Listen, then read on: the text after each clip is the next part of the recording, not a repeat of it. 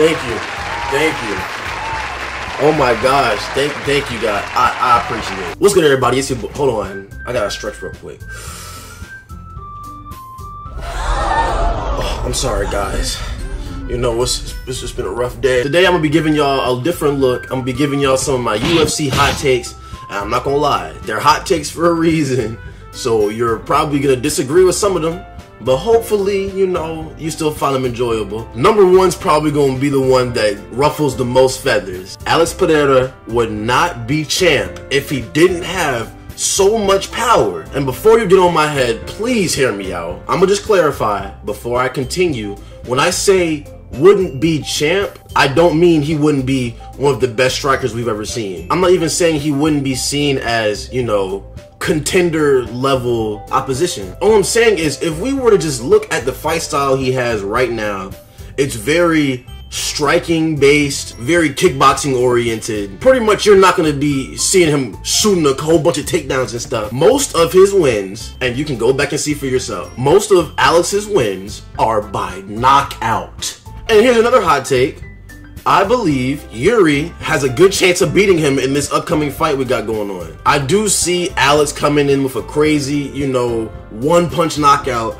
But look back at their first fight, Yuri wasn't getting like super outstruck. It wasn't like a one sided beatdown. If he had the power of someone like Colby Covington or something, I just don't see him being as much of a threat as he is today. There are some fighters out here that don't need power to win. They could just win simply off of uh, maybe volume or just their skill set. Maybe they're grappling oriented, so they might just choke you out or whatever. Someone like Aljo, for example, you're not gonna go into an Aljamain Sterling fight expecting a KO, but he wins for the most part. For the most part, I also feel like Alex's power helps him in different. I also feel like Alex's power helps him in different departments besides just striking. I'm gonna take this into boxing territory because that's where I'm most comfortable at. That's what I do in real life. Let's say you're striking with someone and you know they're just heavy fisted, and if any of those punches they're throwing lands clean, the fight's gonna be over early. If you know that, you're gonna be apprehensive to just either rush in or attack or throw your own punches or whatever the case may be. That's why there's people out here saying a strong offense can be a good defense or something. I don't know how the saying goes, but something like that. Everyone knows Alex's left hook is just death. So they're not gonna oh get in close for a takedown or you know go with a whole bunch of volume because they know if he just slings that out whenever and it connects even once, the fight can change. I want you to be completely honest with yourself.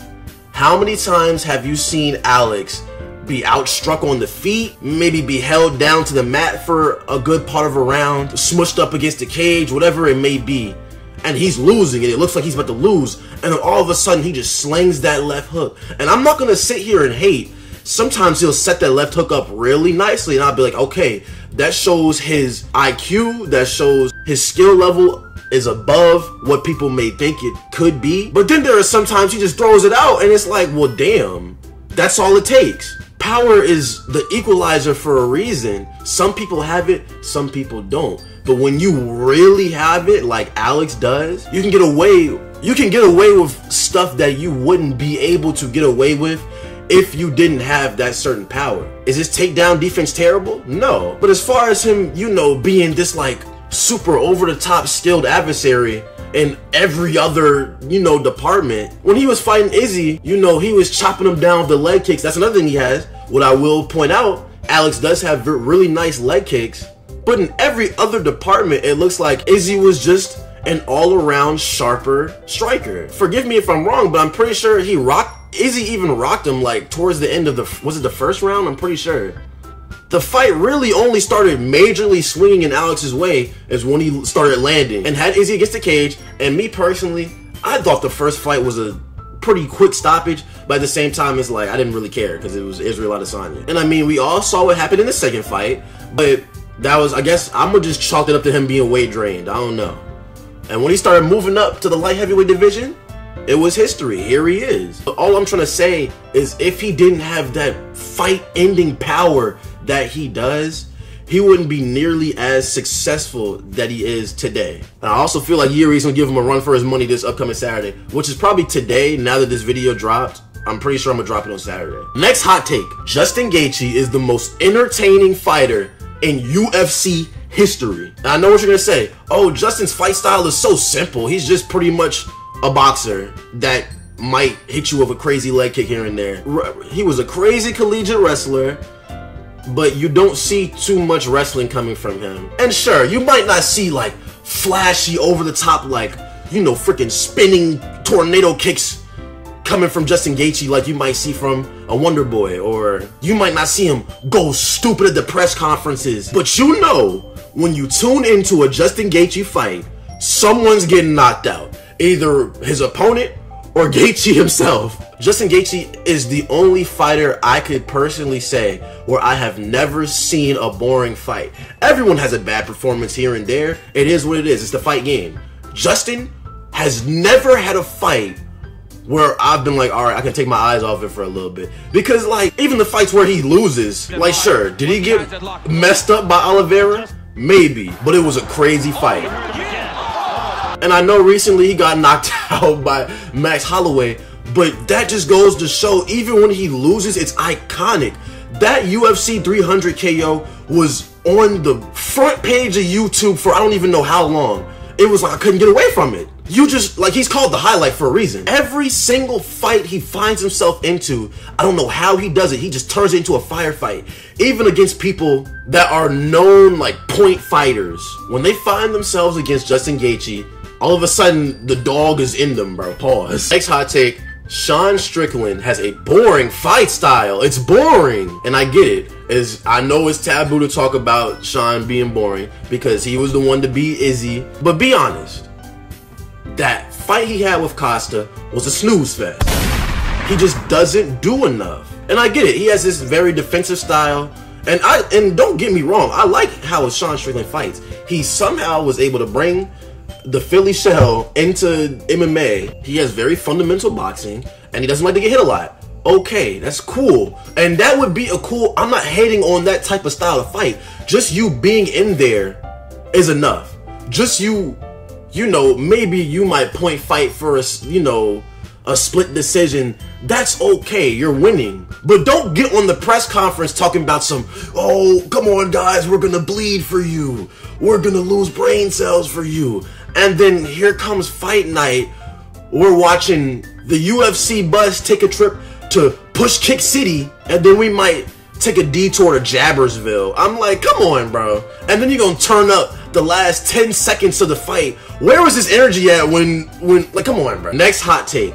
Islam Makhachev is already better than Khabib. Now, Khabib had a crazy reign in the lightweight division. 13 and 0. I'm is he the first undefeated? Correct me if I'm wrong, but I'm pretty sure he's the first undefeated lightweight to at least retire undefeated. And his resume, no one can uh, like look, no one can say anything. Being Barboza, Al Iaquinta, McGregor, Poirier, and Gaethje back to back like that. No one can compete. And I and I will say I would like to see Islam defend the lightweight title a couple more times before he tries to go up in weight and face Edwards because I don't see Leon beating Islam, honestly. If you stack Islam and Khabib against each other, just look at how, one thing I will say before I even get to Islam, Khabib's grappling is probably the best I've ever seen. Not in terms of skill level or like flashiness. I'm just talking about just purely on how effective his grappling is. I know a lot of people like to use the word, oh, dominant. He was the most dominant grappler. Yeah, he was, but he would just do very simple things and it would just prove to be so effective.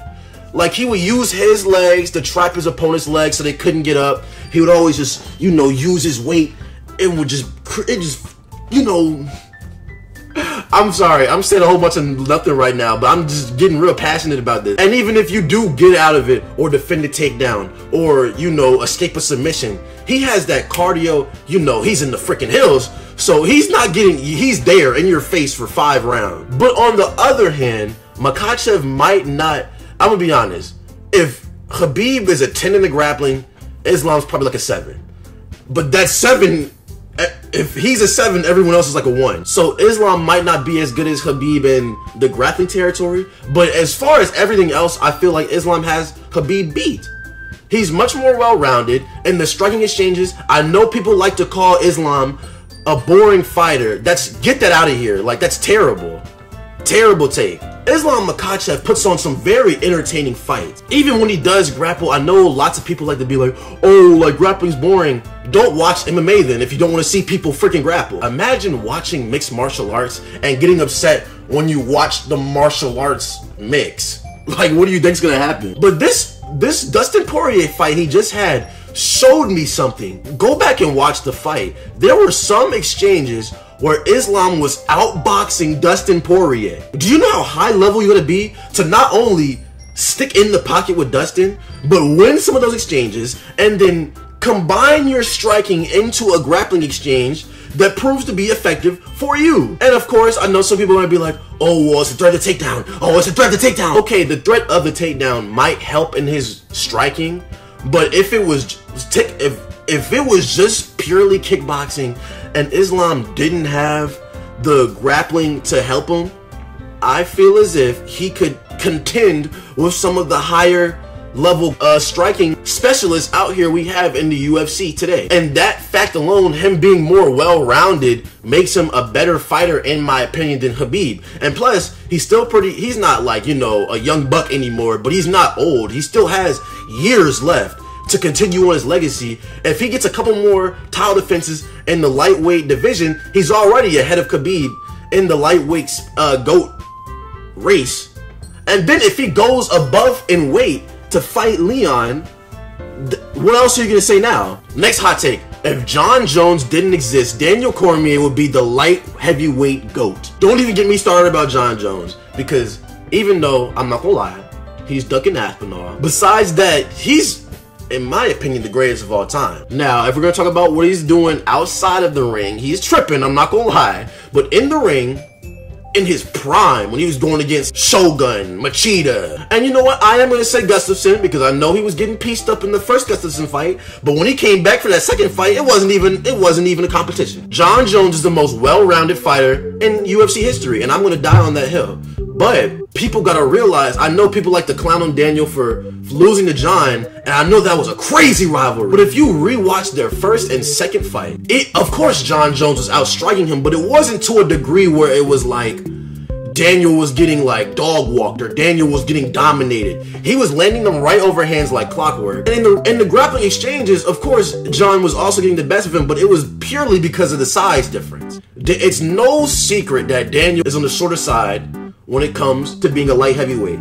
Daniel Cormier, if Jon Jones didn't exist, he would, I mean, he was the champion anyway after Jones left. And before that, he was going stupid. And before before that, like on Strikeforce, he was going dumb. So the only person I could see that gives him like, you know, maybe might push him off course a little bit is Stipe because he did have a little bit of trouble with Stipe in a, in a couple fights. Then again, he also beat Stipe, so it, that doesn't really matter. They were both old as hell, so I mean, who cares? I'm talking about Prime DC. Prime DC. These light heavyweights you see today? Oh hell nah, D bro, Prime DC is washing them. Alright, I'm gonna be honest with y'all, it's the next day. I had to go do stuff, but yeah, it's the next, it's the following day now. Next hot take: Jack Della Maddalena is the best boxer in the UFC right now. There's a lot of candidates out there for the best boxer in the UFC. We got people like Max Holloway, Dustin Poirier. Me personally, I think you might as well go ahead and add Topuria up in there in the list. The only reason I'm saying Jack Della Maddalena, I'm gonna just start calling him JDM. I don't feel like saying his whole name out. The reason I feel like JDM is the best boxer in the UFC. Just take a look at his at his fight style. He's not throwing a whole bunch of wide, wild punches. Most of his punches are gonna be straight down the middle. His defense is very solid. It's very, just very fundamental. You know what I'm saying? You're not gonna see him out there throwing crazy overhand rights, windmill punches. You're gonna see very fundamental boxing. His footwork, to me, looks like the footwork you'd see coming from a boxer in a boxing ring He's just using it in the UFC. In my honest opinion, he just looks like a boxer that just so happens to know how to throw a few kicks and knows how to grapple. JDM is starting to become one of my favorite fighters. For some reason, the jab is just non-existent in you in, in mixed martial arts, and when it is being used, it's being like exploited by like you know somebody like Sean Strickland that will only use the jab. But JDM is a very nice, very sharp striker with his hand. He's not overly powerful, but he does has some heat in his gloves. He's pretty quick and he's very accurate. I feel as if compared to and I know I'm not I'm not saying he's like over the top the best. I'm not saying like, oh, Holloway's right here and he's all the way up here. I'm just saying, in my honest opinion, from what I'm seeing, I'm talking fundamentally as a boxer. I feel like JDM could leave the sport right now and head into boxing and be pretty successful in that venture. But as far as the UFC, if we're gonna talk about fundamentally and just someone looking like a pure boxer in the ring, JDM is the closest we're going to get when it comes to someone using their hands in the way a traditional boxer would. Here is the final hot take and probably one of the hottest takes we're gonna get on this list. Conor McGregor has the ability for a comeback.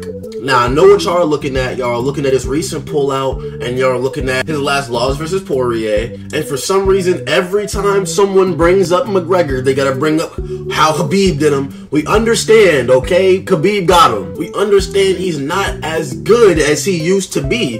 But that's the point. I feel like some people forget how good Conor McGregor used to be. And I'm not even gonna sit up here and act like I'm a big Conor fan. Honestly, I could care less what happens if we see him fight again or not. I'm just saying I grew up in the era where he was doing his thing. Some of his really early fights where he was just, you know, throwing crazy spinning wheel kicks and spinning back kicks. And as the time went on, we started to see his boxing capabilities come out and how really, you know, precise that left laser of a hand is. How he cooked Jose Aldo in like the first, like, what, minute? That's on the same level as that Topuria Volkanovski KO.